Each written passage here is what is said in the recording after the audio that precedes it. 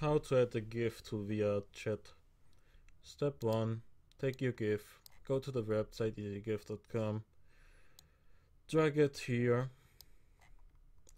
upload it, wait for it to finish depending on the size. You stack horizontally.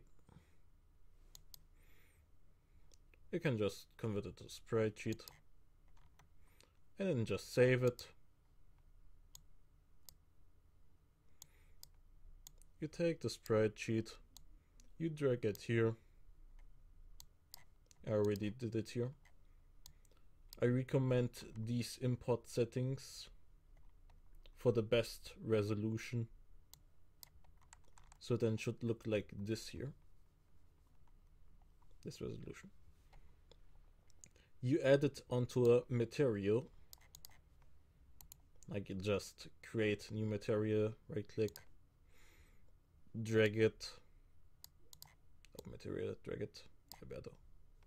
And then just drag the material onto there. You take shader, custom, so a sprite sheet. You configure it, it columns, interface, frame numbers, depending on your GIF, how much you have.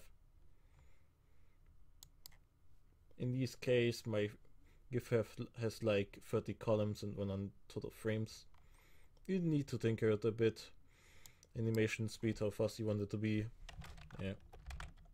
Ah. Yeah, so yeah, that's basically it. Have fun.